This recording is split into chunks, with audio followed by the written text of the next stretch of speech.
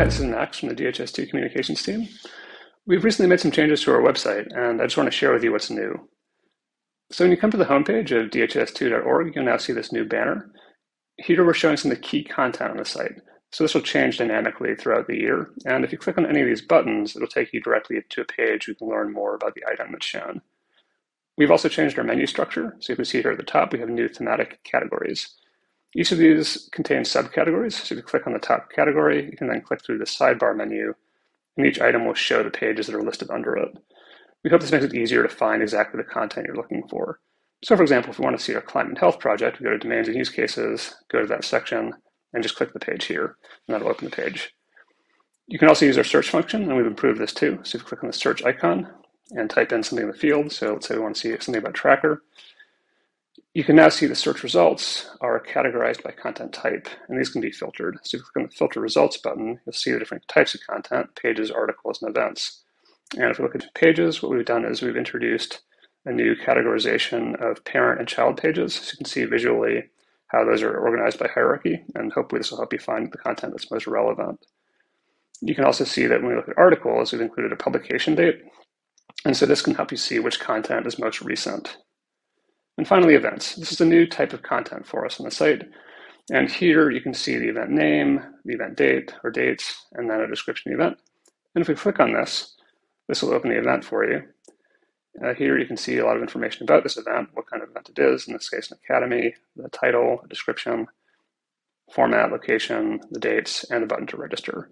For more information, we have this page menu. So if you click on any of the items in this menu, it'll take you directly to that part of the page and you can find out more about the event. To see all upcoming events, you can just go to this DHIS2 event calendar page, which is dhis2.org slash events. And here you'll see the upcoming events listed in chronological order. Here you can browse them, uh, get an overview of what kind of event it is, when it's happening, some key details, a title and description. If you click on any of these images, those will open the event for more information. And you can also filter these. So if you go to the filter events button and open this, you'll see there are options for filtering by category, so academy, conference, webinar, etc., by language of event, by the region where the event is taking place, if it's a physical event, and by format, so in-person, online, or hybrid. You can also go and see our entire events calendar by clicking this button, and that'll show you a dynamic calendar where we're adding events, um, and you can just view them by date. We've also made some improvements to our page design by putting dynamic content up at the top. So if we go to the DHIS2 in Action section and the DHIS2 in Action page, you can see that when this opens, the DHIS2 in action map is right at the top. So from here, you can just start interacting with it directly. You can zoom in. You can change the layer to see how DHIS2 is used in different use cases in different countries.